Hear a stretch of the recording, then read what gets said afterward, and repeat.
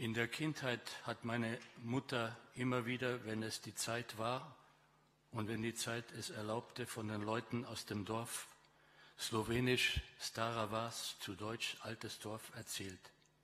Keine Geschichten, sondern kurze und doch wenigstens für meine Ohren unerhörte Begebenheiten. Mag sein, dass die Mutter diese zugleich auch meinen Geschwistern vortrug, aber mir ist, als sei ich jeweils ihr einziges Publikum gewesen.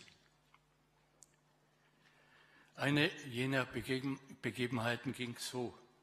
Auf einem der Bauernhöfe, schon halb im Gebirge, arbeitete eine Idiotin oder, wie es damals hieß, eine Schwachsinnige als Magd.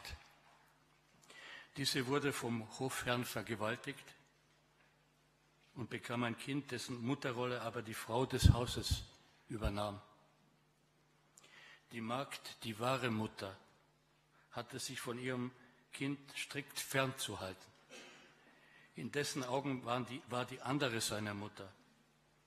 Und eines Tages verfing sich das noch kleine, doch schon sprechfähige Kindwesen beim Alleinspielen in den Drahtzaun am Rand des Anwesens und verstrickte sich dort mehr und mehr. Es schrie und schrie.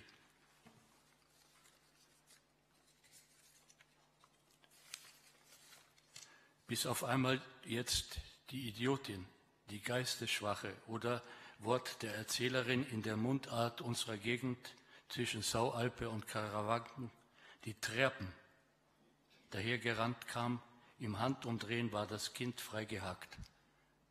Und danach aber die Frage des Kindes an seine zuletzt noch hinzugeeilte vermeintliche Mutter, die Magd schon zurück zu ihrer Arbeit, ob im Stall oder auf den Feldern. Mutter,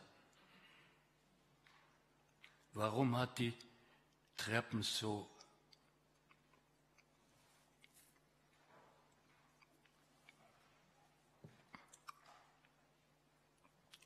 so weiche Hände?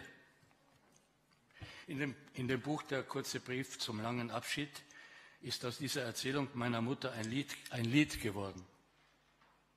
Eine Ballade, gesungen in einer nächtlichen Bar von Philadelphia, Pennsylvania, USA mit dem von Strophe zu Strophe wiederholten Schrei des Sängers, und dieses Kind war ich und dieses Kind bin ich.